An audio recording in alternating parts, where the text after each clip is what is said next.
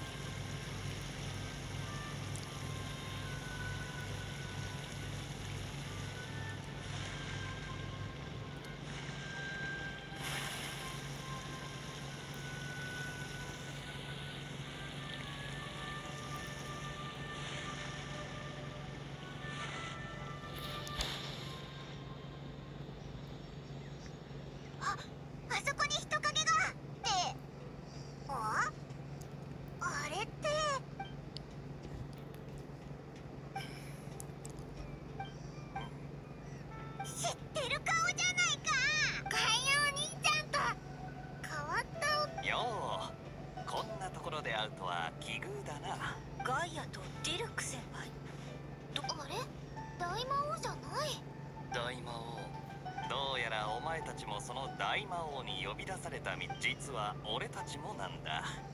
もってことは。まあ大魔王のことなんかひとまず置いておこう。今の俺はこの夏の太陽を満喫し。ガイアとディルックの旦那は船で来たのか？嵐と霧？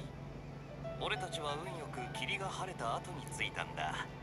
だが知っての通りただの船じゃここには来られない。あえ？お前たちもトワリンに乗ってきたのか？今さら驚くことじゃない。巨竜が飛んだんだ。あれほどみんなに見られていたのか？安心しろ。背中に人がいたというと。よかった。しかしあの銀融詩人に竜を従わせる力があまさかトワリンは古典音楽の愛聴者なのか？なるほど。でここには二人きりで来たのか？おやおや代理団長も冗談がうまい。ち俺たちの他にもあと2人いたんだが。いろいろ？チームワークに欠けてたというか個性が強すぎ。旅人は相変わらず。その二人ってたアルベドとレザーだ。え？アルベドお兄ちゃんとレザー？お前たち。待った。ガイアがここにいるということはセピロそれはもちろん偉大な図書館司書リサ様だよ安心しろ。ある意味リサは俺らより。よかった。リ それそれにさっき見た。それにはまず俺たち俺たちが竜に乗ってこの群島の上空に着いた時レザーが何かに吸い寄せられるかのように急に竜から飛び降りレザーが心配で俺たちもすぐ飛び降り俺の経験上その場で戻ってくるのを待つべきだと思ったんだがレザーが俺たちを探しに戻るはずが。待て待て。アルベドとレザーは？さどうだか。あアルベドは錬金術による想像が得意だ。僕はあの高い山のある島。やれやれ俺が元素力を振り絞って海面を凍結させてもお前に溶かされちまう氷と炎の中ってやつ。じゃあさっきのはよく仲がいいんだか悪いんだか。ととりあえず賑やかになったってそうだな。未知の困難が待ち受けて。いいだろう。喜んで。当面の目的はアルベドとレレザーは今のところ不明だがアルベそうと決まれば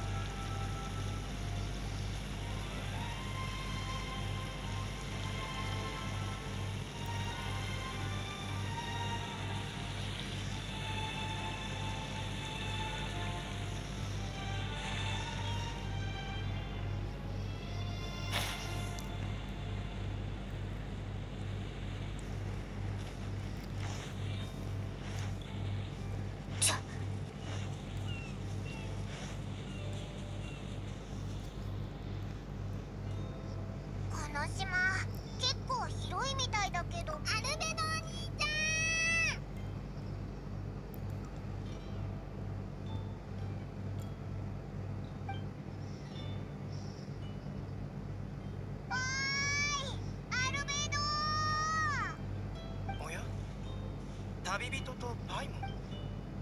おおいきなりアルベドお兄ちゃん。クレイそれにみんな。僕が予想した時間俺たちを隣の島に置き去りにしてくれたこと礼どういたしまして。話し合いが好きなよアルベドはどうしてここ？手紙をもらったんだ。ここに来る途中全員で情報共有し合ったんだが署名はドド大魔王お前の口から言うと違和感しかないな手紙の内容はそれぞれ違ったが僕のはシンプルだったよ。妹のクレイは預かった。会いたければ銀リンゴ群島に来い。完全に脅迫状じゃないか。そうだ。俺のは大した内容じゃなかったぜ。ナンパした海賊船が無人島にある どうやら祖父から遺伝したこの眼帯のことがバレてるみたいだ。ガイアのやつまたディルクの旦那は。無人島にアビス教団の拠点あり。旧見事なまでの対応だな。なんだか変だな。ああこの件。僕は最初から。そう。俺たちみたいな現。そうだ。レザーも手紙を持ってああ。